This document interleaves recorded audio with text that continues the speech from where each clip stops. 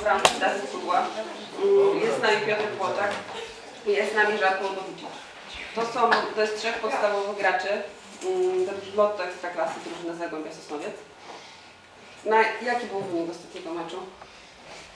2-0 dla Wisły.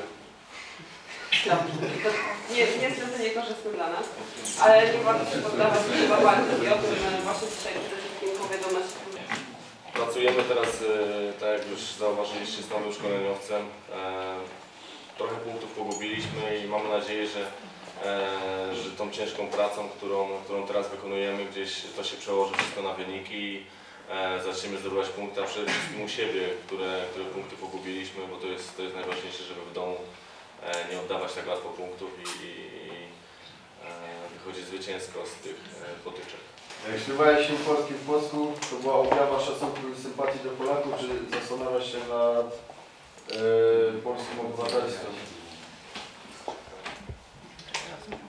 Też zastanawiam się na, na, na polskim obywatelstwem, ale u, uważam, że, że gram w Polsce już trzeci rok i że, że prostu Polacy i Serbowie są, są bracia. Ten, ten, ten hymn, co Polacy teraz e, mają i ta melodia wcześniej była, jak, jak była Jugosławia, to, był, to, to też był na, nasz hymn.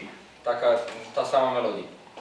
I po prostu nauczyłem się i gram tutaj i śpiewałem z drużyną.